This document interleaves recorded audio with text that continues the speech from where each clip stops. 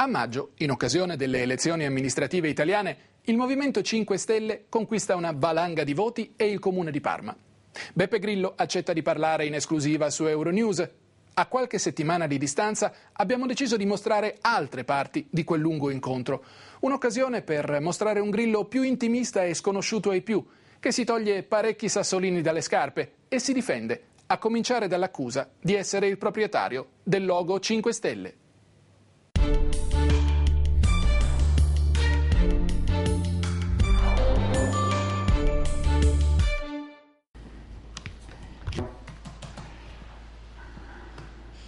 Diritto che il logo è, deve essere mio perché io sono a garanzia di chi entra.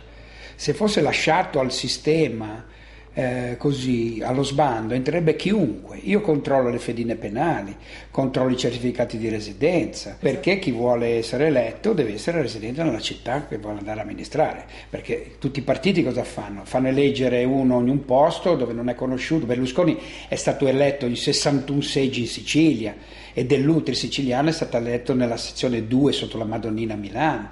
Non è più possibile.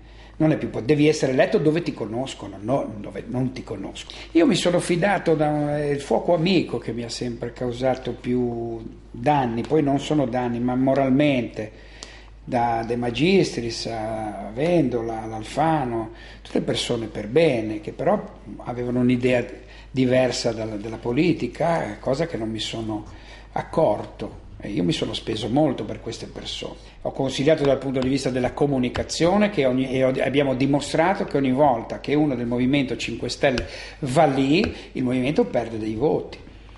Perché è l'immagine, ti mettono vicino Gasparri, puoi dire tutte le verità del mondo che quando tu parli e inquadrano Gasparri vince la faccia di Gasparri. La televisione è immagine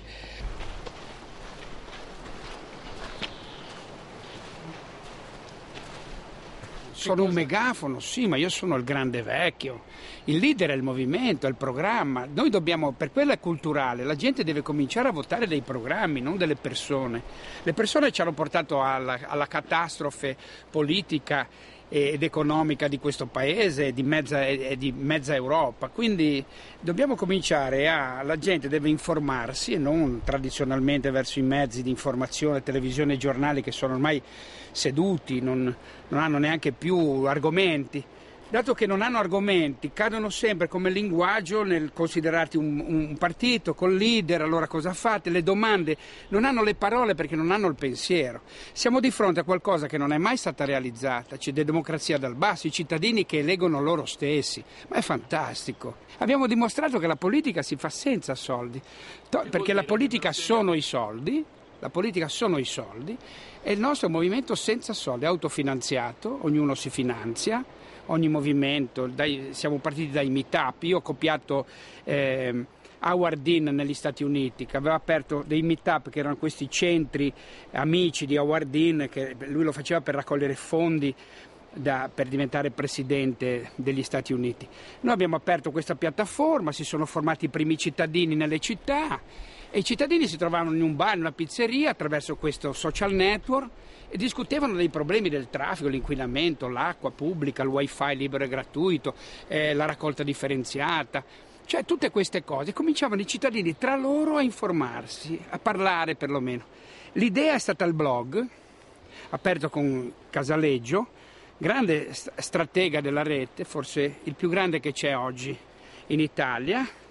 Ci siamo trovati immediatamente come mentalità di fare qualcosa per il bene di questa nazione che la vedevamo andare in rovina, ci siamo messi insieme, la mia reputazione come artista e la sua bravura e la sua professionalità sulla rete è stata la coppiata vincente. Casaleggio è una persona che fa strategie di rete, è un ex manager bravissimo, è, è non ex, è un manager bravissimo, ha avuto un passato di eh, in grandi aziende italiane, sempre sulla comunicazione e quindi noi scriviamo insieme eh, un paio di, di, pezzi per il blog da, anni questa, da 7 anni a questa parte, quindi più di 5-6 mila articoli.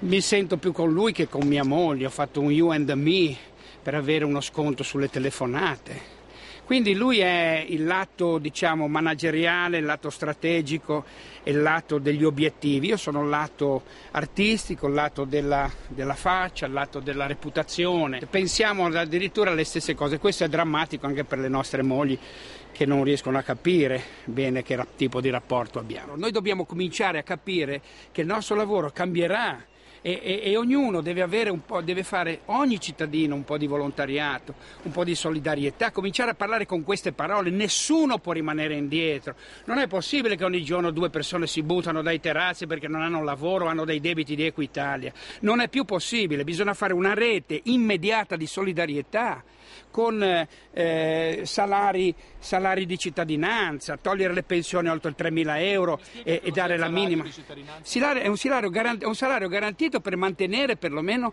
le condizioni umane delle persone, non li puoi prendere, togliere il lavoro, togliere la casa, togliere il futuro, togliere la vita alle persone. Assolutamente no. Abbiamo bisogno di cominciare a sentirci comunità. Queste robe non, non pensavo neanche di poterle pensare io che prendevo per il culo il mondo.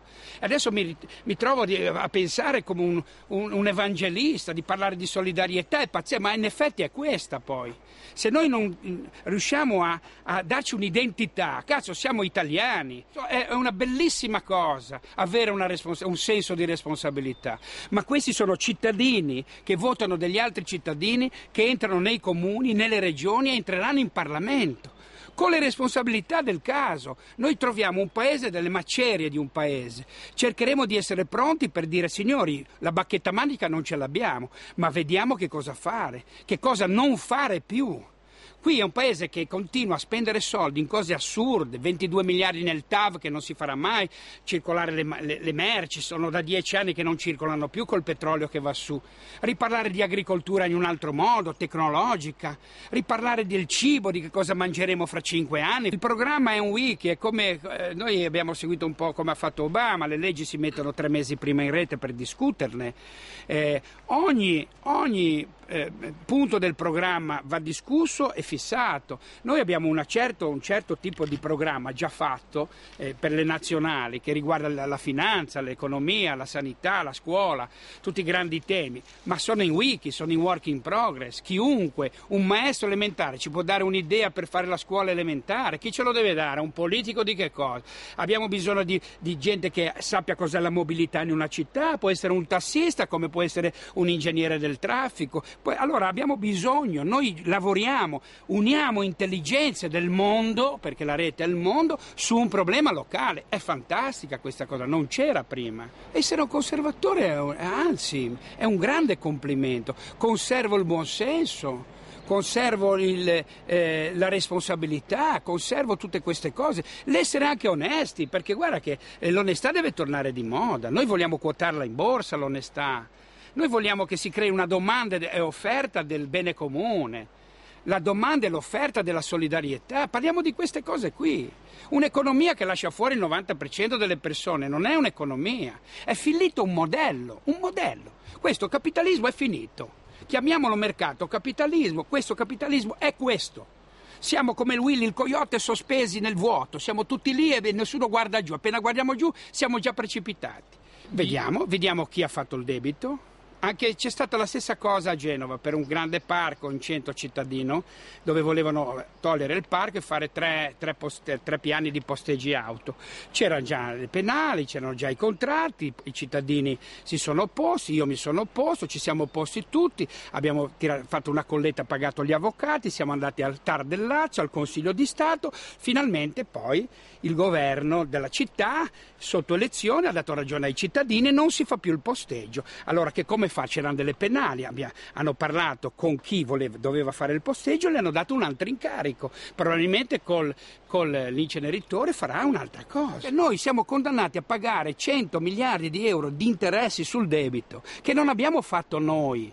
Non l'ha fatto il movimento, i cittadini, l'hanno fatto questi, questi disgraziati che hanno succhiato negli ultimi, negli ultimi dieci anni il, il, debito è aumentato di mille miliardi con le, i grandi lavori a debito, facendo pagare un chilometro di, di, di, alta velocità tre volte la Germania e, e, e quattro volte la, la, Francia, due volte la Spagna.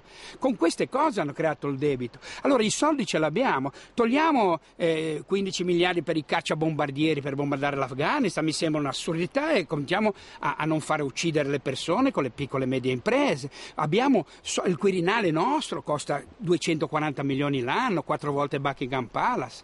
Abbiamo stipendi di pensioni da 30 mila euro al mese mese. E questa gente è in televisione a dire i sacrifici che dovremmo fare noi, ma lo capisci che è un'istigazione a delinquere. Quindi grandi opere, strade, palazzi vuoti, assolutamente palazzi vuoti per mettere sotto, eh, riciclare soldi dalla mafia, perché questa gente è collusa con la mafia, è collusa, avevano i soldi fuori, si sono col, col 5% di, di, scudo fiscale, si sono ripuliti i soldi col 5%, tutti i partiti, tutti tutti e poi, poi de, de, devi avere uno che gli pignorano la casa Equitalia per poche centinaia di, di, di, di euro e, e, questi qui si ripuliscono col 5%. Ma noi i soldi ce l'abbiamo. Abbiamo 98 miliardi di evasione fiscale con le concessionarie del gioco d'azzardo in Italia. Concessionarie del gioco d'azzardo hanno evaso quasi 100 miliardi di euro, sono due finanziarie, tre potremmo mettere a posto subito le, le piccole e medie imprese, immediatamente. Ho girato l'Italia con un, con un camper, ma io in mezzo alla gente, non ho visto un politico in mezzo alla gente, ma non ci va nessun politico in mezzo alla gente. Lo appendono. Oggi è così. Io vado lì, mi davano prosciutti, formaggi, mi riempivano di melanzane ripiene, piatti fatti in casa, non regalini, piatti fatti in casa, arrivava la massagna, i vecchi, gli anziani, fantastici.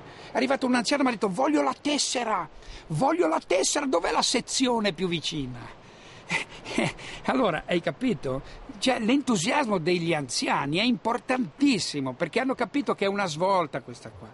Ed è l'unica occasione che abbiamo in Italia oggi, l'unico questo movimento, di, di mandare a casa questa gente e riprovare a ripartire. Campa con uno stipendio, non devono mica morire di fame. Uno stipendio adeguato a uno che fa il ministro, fa il, il, il politico seriamente. Non ho mai detto che non devono guadagnare. Noi abbiamo, abbiamo rifiutato i rimborsi elettorali di 1.700.000 che ci spettavano, non abbiamo presi. I consiglieri regionali, perché non deve parlare del sindaco, il sindaco guadagna degli stipendi eh, irrisori, anche i consiglieri, no? Ma i consiglieri regionali, che ne abbiamo due in Emilia e due in Piemonte, si sono ridotti lo stipendio da 10-12 mila euro al mese a 2.500 euro al mese, che è uno stipendio, signor stipendio per un ragazzo di 25-28 anni oggi. Quindi l'abbiamo già fatto. Quindi quando tu hai uno stipendio buono e tu hai rimborsi a piedi lista, non hai il gettone di presenza, elimini tutti gli orpelli, dalle tessere per viaggiare, aereo, treno, massaggi, segretari, arrivi con la tua bicicletta, la tua macchina elettrica oppure a piedi o con i mezzi pubblici, quello che ho visto nel mondo, eh, senza auto blu, senza lacchè, senza polizia, senza digos, questo allora è un cambiamento epocale e noi siamo quelli. I cittadini sono quelli, vogliono occuparsi un po' della loro città e poi tornare a fare quello che facevano prima, come un servizio militare. È passione. Quando non, sei, non, non c'è carriera, non ci sono soldi, se vuoi rubare fai un altro lavoro, ti metti in politica. Guarda, io non ho mandato via nessuno, se è andato via qualcuno e non era del movimento. E, e, e poi c'è una distinzione mentale. Quando tu parli con una persona di 50-60 anni, e anche in buonissima fede, in gambissima, dentro al DNA del partito, e allora cominciano le discussioni interne sulle procedure, delle direttive di fare dei referenti. È finita, diventi un partito. Noi dobbiamo essere aperti fuori, parlare con la gente fuori, non interni. Chi parla di se stessi sono i partiti, di se stesso sono i partiti. Io ho cominciato col computer, scrivevo c'è qualcuno in ascolto, così, da solo ho aperto sto blog aperto, c'è qualcuno che mi può rispondere, sono Beppe Grillo. E il primo che mi ha risposto era il mio vicino di casa, attraverso il mondo, mi ha risposto. Mi ha detto cosa fai alzato alle due di notte? Il mio vicino di casa. Da lì poi io facevo le tournée e, dicevo devo venire a Torino a fare uno spettacolo, scrivevo c'è qualche torinese che mi dà qualche informazione sulla città? E mi arrivavano 30-40 informazioni, c'è un posteggio che è della moglie del sindaco, a caso lo dico così. Prima di arrivare a Torino avevo già la denuncia. la, la, la, di, mi, parlava il sindaco, mi scriveva se tu dici una cosa così ti denuncio, avevo già le minacce, allora ho detto poi questa cosa funziona, mi denunciano ancora prima che parli, è pazzesco, fantastico la rete, no? Ma una cosa bella che abbiamo fatto sulla diffamazione che vorremmo fare, perché la diffamazione è chi ha i poteri forti, oggi la giustizia è usata con i poteri forti, no? Sei un buon avvocato ti salvi, se sei un poveraccio no, è, veramente... Quando ti chiedono un milione di euro per la diffamazione, beh, mettiamo un milione di euro di caparra, se perdi perdi il milione di euro perché dovremmo, e, e, la facciamo questa legge qua se, se ci daranno l'opportunità. Perché io avrò una trentina di processi, 20, ma processi assurdi eh, sulla Val di Susa perché ho rotto un sigillo portato via dal vento rotto un sigillo, eravamo in 20 con 20 avvocati perché siamo entrati in una baita che non c'era più il sigillo, io sono entrato a brindare con questa gente meravigliosa che sono in Ottav, abbiamo brindato e ci hanno denunciato, quindi 20 avvocati, 20 persone, cosa sarà costato questo? Hanno eh, spostato a luglio l'udienza, quindi due udienze, tre udienze, cosa costerà la società? 20 persone con 20 avvocati per, per rottura di sigillo. Bastava un giudice di pace, una multa, pagavamo la multa. È tutto così. 3 abbiamo 3 milioni di cause in piedi contro la, la, la, la Gran Bretagna che ne ha 300.000, abbiamo 150.000 avvocati, ma non ce l'ha tutta Europa 150.000 avvocati. Ogni anno aumentano del 15%.